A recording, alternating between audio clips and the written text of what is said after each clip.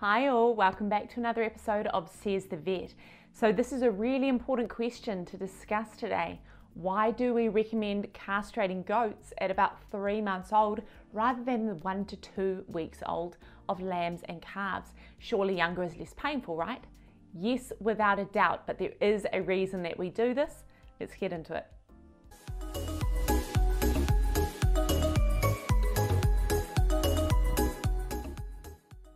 So with lambs and calves, we say absolutely do it as young as you can after allowing a few days, of course, for the bonding process and colostrum intake. Let that little guy get strong and have a good start in life, but otherwise, really, the younger the better to keep the development of those nerves to the testicles as minimal as possible, especially if you're doing the tail at the same time. We don't want them suffering any more than they need to. I always advocate for pain relief, and there are some really cheap, user friendly options on the market today that you can even do at home. But with our ruminants, sheep, goats, and cattle, we do know that when you castrate them young, taking away that production of testosterone from the testicles, we end up with an underdeveloped urethra. Now, the urethra is the tube that carries urine from the bladder to the outside world. So in males, the tube runs down the middle of the penis, of course, and that allows them to urinate.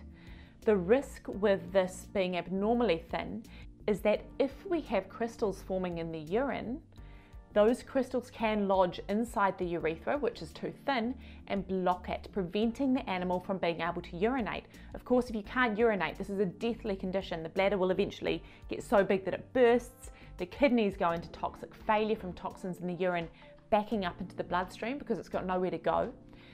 Females aren't really at risk. They have a very short, thick, straight urethra out the back end, so it's not a big problem for them. It's the males who end up blocked because the urethra is a sigmoid S-bend shape with a thin tip, so lots of tricky places for crystals to lodge. Yes, this does happen in all of our ruminants. Early age castration results in an abnormally thin urethra in calves and lambs as well, but cattle are so much larger, it's rarely ever an issue, especially in New Zealand. Maybe overseas, I've heard of it happening um, in feedlot situations where they're being fed a lot of supplementary grain, but I've never heard of it here. It's it would be unusual because they are so large. And sheep, even though they're the same sort of size as goats, generally they're mostly fed pasture, so there's not too much room for things to go wrong nutritionally, causing crystals. It's our goats that go down with blocked bladders, and it's not uncommon. It does come from an underlying dietary issue which is causing those urinary crystals, but to be fair, it can be really challenging to try and get a goat's diet perfect. So we recommend just preventing it in the first place.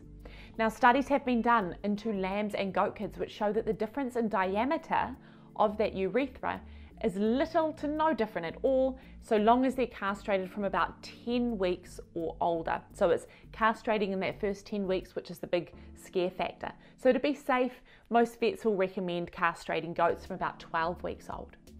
Absolutely, it is significantly more painful when they're older.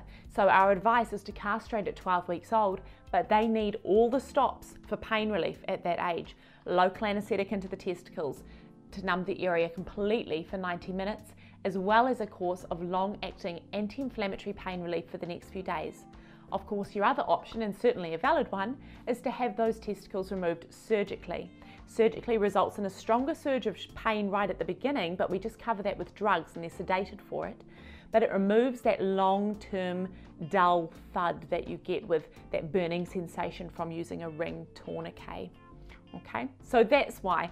Okay, guys, I hope that that was clear as mud. Don't forget to thumbs up if it was helpful, comment to let me know you appreciated it, subscribe to catch the next one, and I'll see you then. Bye bye.